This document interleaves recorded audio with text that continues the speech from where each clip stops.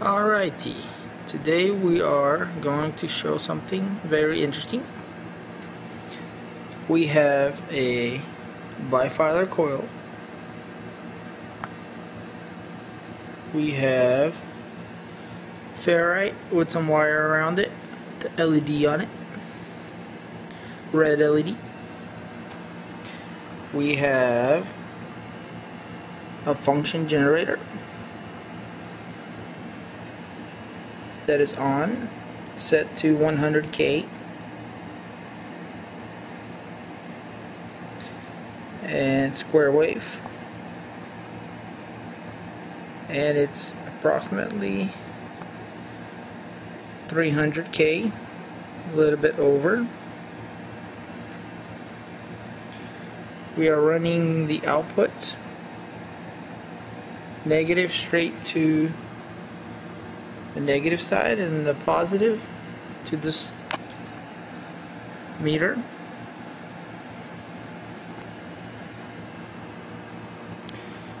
The scope is connected, this is positive and this is negative. Right now it's not connected to the coil and so this is what the generators producing right now?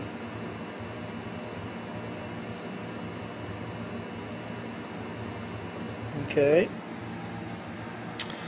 Now the way we're going to be using this bifilar coil is this wire and this wire are one wire.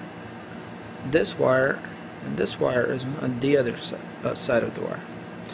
What we're going to do is we're going to run positive into this side of the wire well I'm sorry positive into this side and negative into here from the function generator. So I'm gonna go ahead and connect the negative.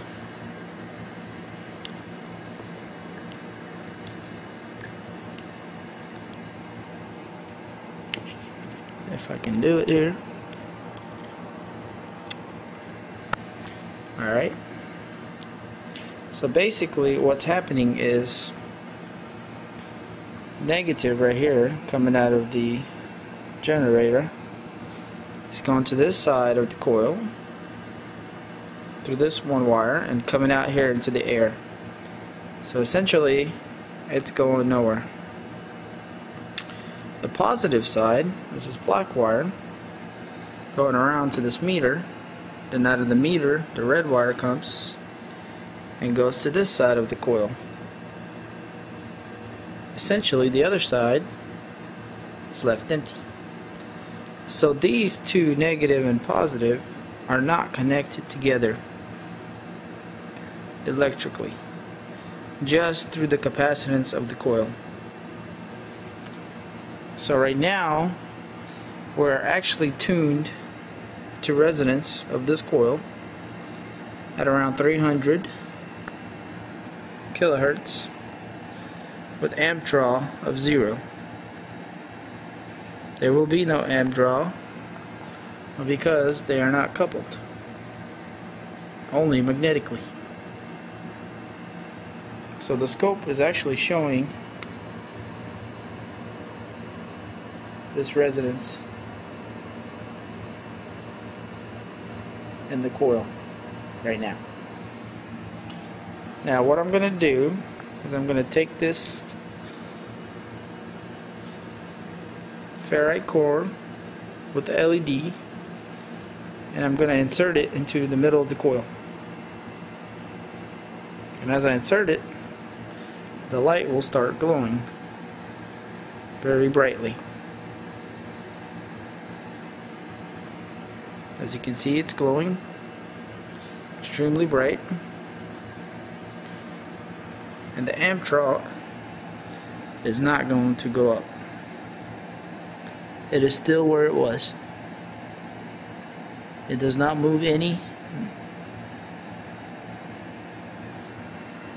So what happened to our trace now is it has changed a little because there is inductance in the coil. I'm going to take it out now and put it back in.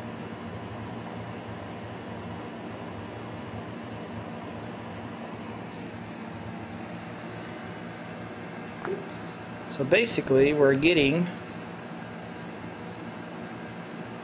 resonance and induction in this coil.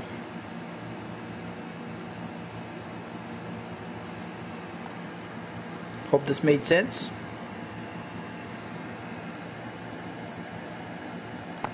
Gonna um, lift it, put it back in. I'll shine at the meter so you can tell I'm lifting it. Lifting it, put it back in.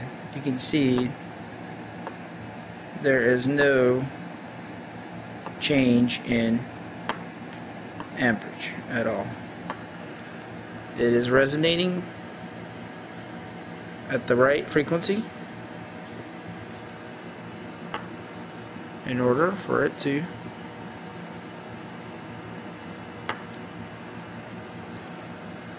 glow.